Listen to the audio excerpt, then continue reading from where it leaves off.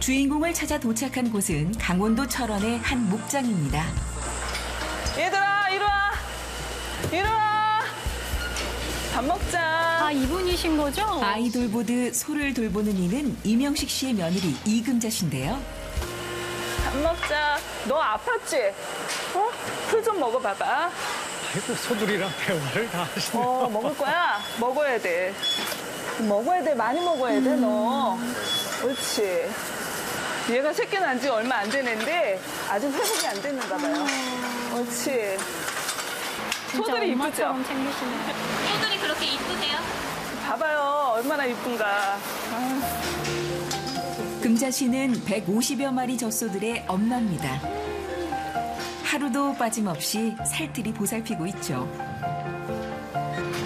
함께 목장을 일구는 남편 이석현 씨도 부지런한 아내가 마냥 든든합니다. 20년 넘게 소와 씨름할 수 있었던 것도 금자 씨가 있어 가능한 일이었죠. 여자가 하기에도 힘들 것 같은데. 아유 힘들죠. 남자가 하기도 힘든 일인데 저희 집사람이 정말 대단해요. 나 소랑 같이 있다가 한 번 씨름을 한 적 있잖아요. 소한테 다쳐가지고 손목이 금이 가가지고 약간 이쪽 이렇게 튀어나왔잖아요. 거구의 소와 씨름이라니 무슨 일이 있었던 거죠? 거기서 소들이 순놈이 아버님을 받은 거야. 그래가지고 저 밑에서 다쳐서 막 이러고 있으니까 내가 그걸 어떻게 보고 있어. 또 뛰어들어갔지, 같이. 그렇게 하고서 소 유인하다가 소한테 다쳐가지고 여기가 금이 갔어요. 일을 하지 말고 석고 붕다하고 가만히 있어야 되는데 일을 쉴 수가 있어야지. 달라들어서 열심히 하려면 열심히 해야지. 이거 사려고 저거 사려고 하려면 일 안 돼. 일남 삼녀 중 장녀인 금자 씨는 서울에서 직장 생활을 하다 장남이 남편을 만나 가정을 꾸렸는데요. 시간이 흐를수록 맏며느리로서의 책임감도 커졌답니다. 거의 서울에 우리 둘이 살 때도 일주일에 한 번은 꼬박 와서 인사를 드리고 같이 지내다 내려보내는 경우가 많았어요. 차라리 이럴 바에야 그냥 부모님 나이 드시고 힘드시면 같이 살아야 될 거니까 일찌감치 올라갑시다 해가지고 올라오게 된 거죠. 시댁에 들어와 목장 일을 시작한 지도 어느덧 26년. 소는 이제 금자 씨의 삶이 되었습니다. 그런 며느리의 노력을 누구보다 잘 아는 시아버지. 고생이 많다. 이건 응? 고생이 많아. 에휴, 아니 그 스키로다 갖고 딱 치우면 되는데 평생을 바친 목장을 묵묵히 이어가는 아들 내외가 고맙고 또 대견합니다. 고향 황해도를 떠나 남쪽으로 피난 온 이명식 씨. 전국을 떠돌며 안 해본 일이 없다는데요. 모진 고생 끝에 지금의 목장을 일궈냈습니다. 고달픈 삶이었기에 자식만큼은 편히 살길 바라는데요. 안 된다. 목장이 아무나 하는 게 아니다. 그때는 더 어려웠어요. 그런데 애미가 고생 안 하고 밥 먹고 살겠습니까? 그런 각오를 하고 해달라고 하는 겁니다. 네가 그렇게 답변을 한다면 내가 해주마. 뒷바라지를 해주마.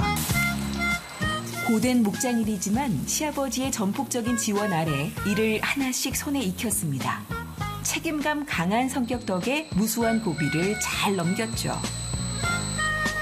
이젠 시아버지도 인정할 만큼 금자 씨는 소 엄마 역할을 능숙하게 해내고 있습니다. 꽂으면서 우유 잘 나오나 확인해보고 소리 나는 거 있으면 가서 받쳐가면서 소리 안 나게끔 해주고 이거를 아침 저녁으로 합니다. 60도 넘게. 매일 2톤씩 생산하는 우유에는 금자 씨의 자부심이 담겨 있습니다. 미소를 잃지. 참. 이리 와. 금방 짠 우유를 챙겨간 곳은 어린 송아지들이 사는 축사인데요. 자식 입에 먹을 거 들어가는 것만큼 보기 좋은 게 없죠. 든든한 며느리가 있어 안심이라는 이명식 씨. 150마리를 일거수 일투수적을 관리 다 하잖아요. 자기가 솔선수범하는 거예요. 그러면 더 말할 거 없죠. 시험 100점, 110점에 110점. 이부자리도 못 깨고 막 어쩔 때는 늦어가지고 뛰어 나갈 때도 있어요. 가서 일하다 보면요. 차기를 하다가도 졸아요. 순간 아 내가 조는구나 라고 느낄 때가 있더라고요. 얼마나 힘드시면. 새벽 4시부터 엉덩이 한 번 못 붙인 금자 씨가 식사 준비를 시작합니다. 거동이 불편한 시어머니를 돕기 위해서인데요. 야, 인디야. 네 언니 힘드는데 내가 대충 해서 먹어. 조금만 기다리세요 어머니 괜찮아요 뭐 이 정도는 뭐 어머니가 해주는 거 비하면 아무것도 아니지 얼른 해서 드릴 테니까 잠깐만 가서 앉아 계세요 네? 아이고, 미안하다, 미안해. 1년 전에 중풍이 오셔가지고 거의 반쪽을 못 쓰실 뻔했어요. 근데 병원 가서 한 석 달 동안 치료받고 지금은 조금 좋아지셔서 나오셨기 때문에 조심해야 되기 때문에 아무래도 안 되겠더라고요. 내가 이렇게 도와드려야지. 싫은 내색 한 번 없이 마음을 다하는 며느리가 마냥 고맙기만 합니다.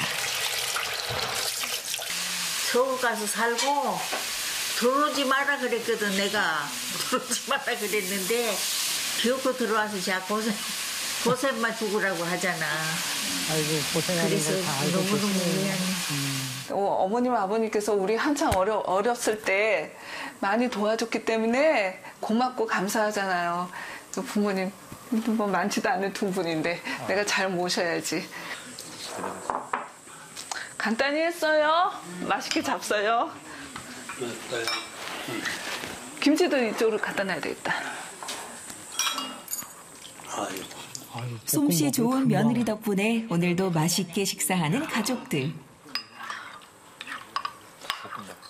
어때요 맛이? 맛있어, 맛있어. 맛있어. 맛만 있고. 그런데 감자가 조금 자네가 지금. 배가 안 고픈가 보다. 음, 지 엄마도 잘하고 그게 좋은 우리, 거예요. 우리 애미도 음식을 잘해서 나가서 먹고 싶은 생각이 별로 없어. 일반 먹고. 지금은 어딨어? 아, 참 고맙고 감사한 일이죠. 이렇게 뭐 특별히 하는 일도 없는데 음, 저렇게 무슨 특별히 하는 일이. 그 고마운 말씀을 해주시고 하니까 뭐 저로서는 뭐 어떻게 감지덕지죠 뭐. 아이고 참 겸손하시기까지. 식사를 마친 금자 씨는 시어머니를 모시고 집 밖으로 나오는데요. 이거 갖고 어머니 거- 걸음 연습을 좀 하자고요. 요즘 금자 씨가 가장 신경 쓰는 일과이기도 합니다. 답답해 하시니까 그럴 때는 나가실까요? 하고서는 이렇게 나와서 가끔씩 어, 운동을 이렇게 하셔요. 딸처럼 친구처럼 시어머니를 보살펴준 며느리.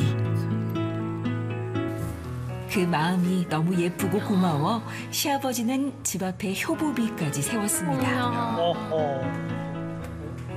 내가 우리 자부 며느리가 다도 착하고 일을 잘하고 부모의 공경이 참 위대해서 내가 내가 이렇게 죽기 전에 뭐 하나를 남기려고 효부비를 세워준 거야. 이게 아픈 시어머니 모시지 이러지 이런, 이런 며느리가 지구상에 어디 있냐 없어요 진짜 창피해. 창피해 효부비에는 며느리를 생각하는 시아버지의 마음이 빼곡하게 새겨져 있습니다.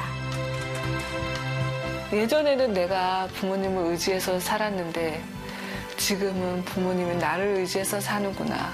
사시는 동안까지는 내가 최선을 다해야 되겠구나.